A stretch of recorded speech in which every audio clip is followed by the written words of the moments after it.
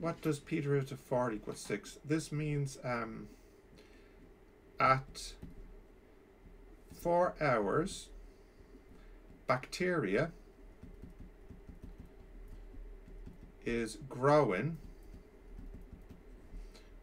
at a rate of 6. Now, are these in millions or anything like that?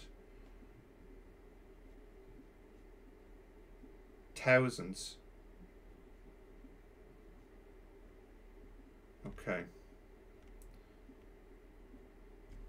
So I guess that's technically like kilo, thousand bacteria per hour.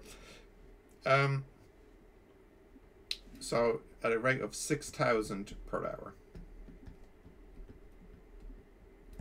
This is hours, isn't it? Yeah. Okay. That's part five done.